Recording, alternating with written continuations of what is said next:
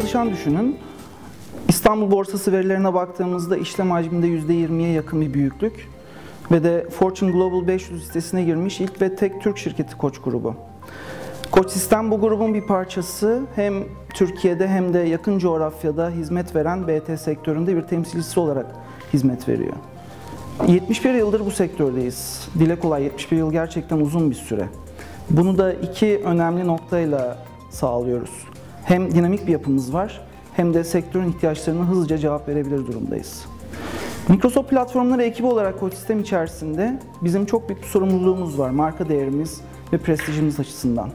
Bizim yapmış olduğumuz işlerde herhangi bir hata yapma lüksümüz yok.